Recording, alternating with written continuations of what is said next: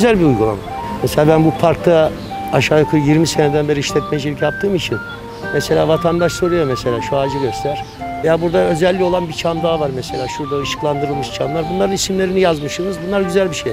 Ben bile bilmiyordum yani. Gerçekten belediyenin yapacağı en güzel uygulamalardan bir tane olur. Mesela o tarihi ağaç hakkında bilgi yazılmış oraya. Şu çamın ismi yazılmış. Ben o çamın ismini orada öğrendim. 20 senedir buradayım ya. Anladın mı? Çok güzel bir uygulama. Teşekkür etmek lazım belediye başkanı ve bunu yapan arkadaşlarımıza, park bahçeler müdürüne.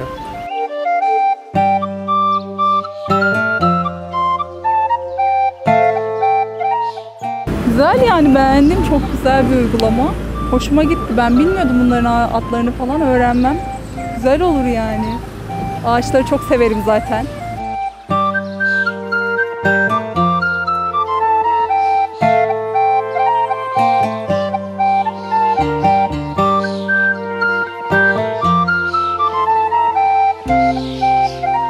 Valla ben 79'da buradan İstanbul'a gittim.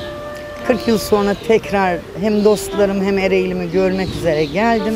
Şimdi ama geldiğimde de belediyenin muhteşem çalışmaları ve doğaya önem vermesi beni de çok mutlu etti. Yani yarın ya da öbür gün döneceğim. Buradaki oluşumu da benim Maltepe'deki belediye başkanıma ağaçlar üzerine yapmış olduğu çalışmaları da özellikle anlatacağım.